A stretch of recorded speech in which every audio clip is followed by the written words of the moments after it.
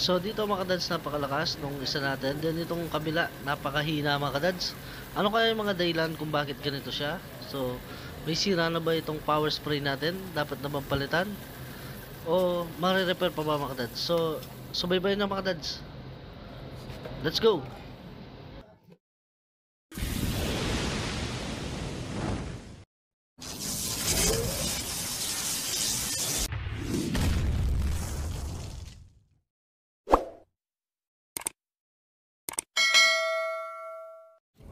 So hello mga dads, ito ang power spray natin mga dads ay meron siyang problema.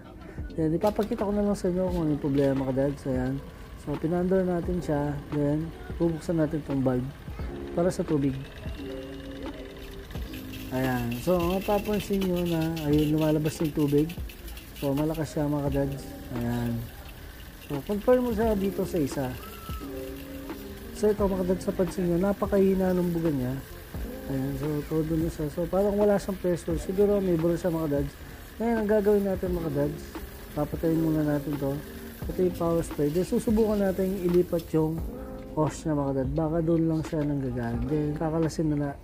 Then ito mga dads, ililipat natin tong hose niya sa kabila. Ayan, para matayin natin kung same lang ba siya mga dads.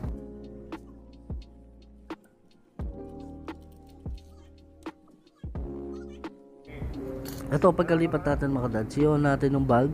Ayan. Then, i-on natin yung power spray. Ayan. So, napansin nyo mga dads na napakahina niya. So, hindi katulad ng isa ito mga dads. Ayan. Napakalakas niya. Hindi katulad nung sa isa niya mga dads.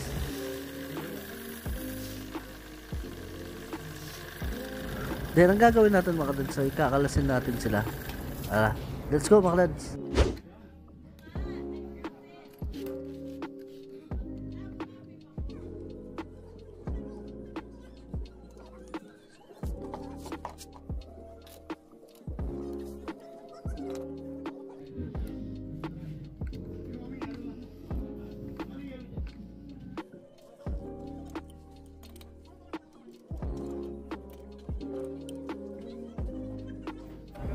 Then ito mga dads, pagtanggal ng bulb natin, ayan, i-check natin kung wala ba siyang bara o diretso ba yung bulb natin. So naka-close siya mga dads. Ang gagawin natin, i-open natin siya. Ayan. So pagka open, tingnan mo kung tatagos yung kabila. Ayun, so okay siya mga dads. Ngayon, ang gagawin natin, i-check natin siya dito. So kung may bara ba siya doon, bago tayo mag next step mga dads. So mga dads, i-plot ko lang yung cam. Ito siya, ito, ito, ito. Ayan. So meron siyang nakalagay na bara.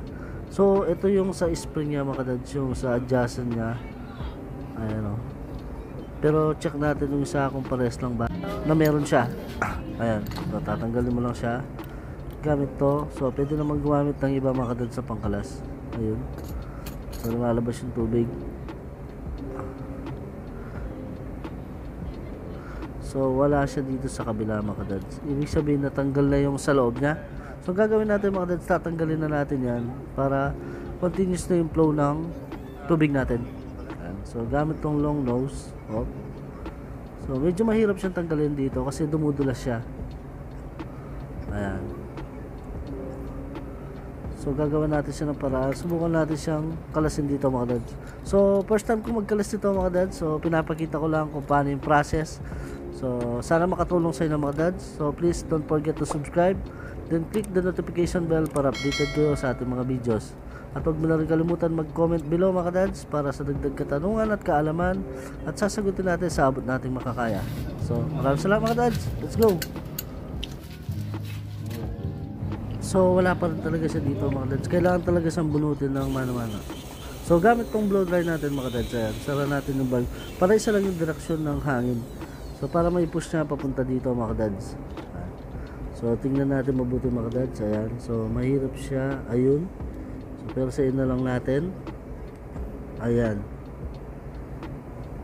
Oh, yun. So ayun mga dads tanggal natin siya. Then kung meron pa, ayun meron pa siya. Ito yung pinaka spring niya. Saka meron siyang pinagputulan. Ayan. So ito yung parang kumokontrol sa tubig niya doon sa adjacent so meron din pala yung kabila mga dadsan Pero okay pa naman yan. So, gagawin ko mga dads, hindi ko napapalitan. Ilalagay ko na yan. So, tingnan natin kung may pagbabago ba. So, magiging normal ba yung takbo ng tubig o yung power spray natin mga dads. May masama ba itong epekto? So, mga dads, tara, subukan natin. Let's go! Babalik lang natin to.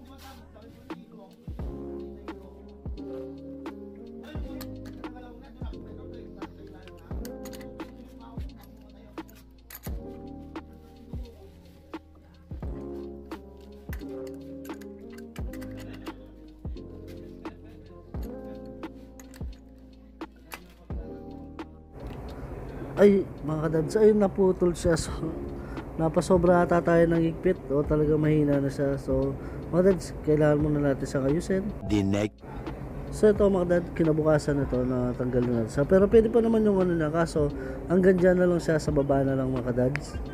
So ayun, napersa siya na ata ng masyado mga dads. So ito, susubukan natin mga dads kung magiging okay na ba yung buga na. So ayun, buksan lang natin yung bulb. Ayan, then on. So ayan mga dads, dyan palang kitang kita mo na yung diferensya. So napakalakas ng buga niya mga dads. Unlike kahapon nung tinry natin siya, nung hindi pa natin natatanggal yung mga bara o yung mga kumokontrol sa tubig niya sa loob. Ayan. So napakalakas niya na mga dad. So wala na siyang control sa tubig or may na-adjust pa siya kaso wala na siyang pumipigil mga dads. Natanggal na kasi natin siya. Ayan. Then tatanggalin natin siya mga dads. Then ito try natin dito sa isa mga dads. So kung simba siya ng buga katulad nung may spring at wala. So ito, tara mga dads. Let's go.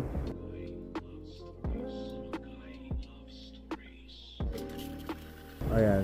So halos sim lang siya mga dads. Ayan o. So napakalakas talaga yung talsik niya. So parang kaya niyang bumutas ng kamay. So masakit to sa balat mga dads. Ayun, malayo nararating niya. Ayan. So naubusan na tayo ng tubig. so dito sa amin wala kasi tubig mga dads. So shout out sa tubig namin sa napakaganda serbisyo. So, yung mga dads na solve na natin yung problema. So, ang diferensya na lang, meron lang siya doon sa loob na pumipigil sa tubig. So, mga dads, maraming salamat sa inyong panonood. So, don't forget to subscribe and click the notification bell para updated kayo sa ating mga videos. Maraming salamat. God bless!